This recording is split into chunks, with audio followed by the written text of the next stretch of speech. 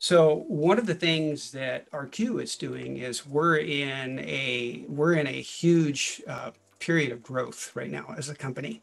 Okay. Um, we're breaking into new regions.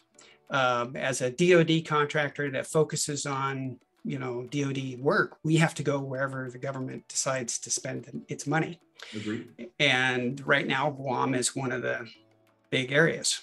Yeah. There's a there's a MAC that's uh, you know, 2.5 billion dollars nice. of work that's coming out that's just going to be uh, you know for Guam and work that's done at Guam, and then there's already billions more being spent there.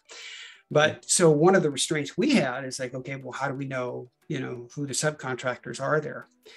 What Teaming Pro has been great for is we can go in and do a company search. Right, we start with a company search we pick a, a NAICS code that we are specifically looking for, and then we define the place of performance, the POP. Mm-hmm.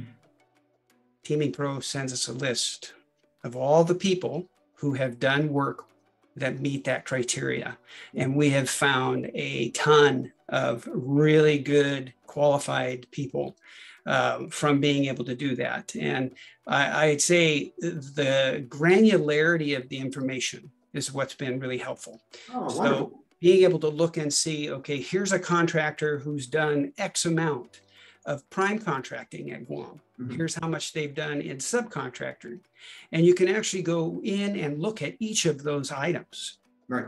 individually and pull them out and say, mm, I wonder if that's similar to what our you know we're going to be doing and it's just, it's just been a, a, great tool so far with us with Guam. We're using it uh, a lot. So thank you for the Uh-oh. tool you, you've created. It's, it's it's it's really good. Jeff, thank you so much. We're humbled by that.